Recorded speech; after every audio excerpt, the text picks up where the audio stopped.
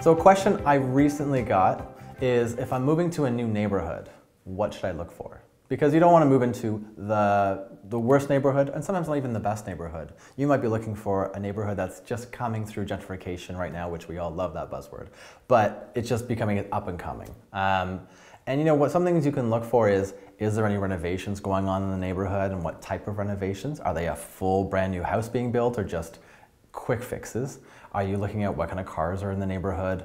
If you look at are there a lot of kids in the neighborhood? Because if you start to see a lot of strollers through going through a neighborhood, it's a good indication that the older generation's moving out and a younger generation's moving in and having kids.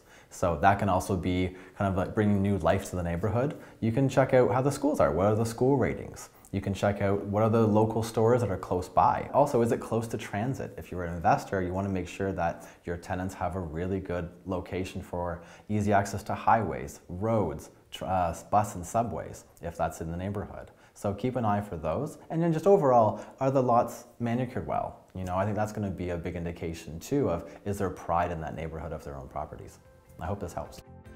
If you have any more questions or you want to get in touch with me, feel free to email me at info at davidmarkle.ca or give me a call myself, 416-805-9001, and I'm happy to help with any questions you have. REMAX Prime Properties.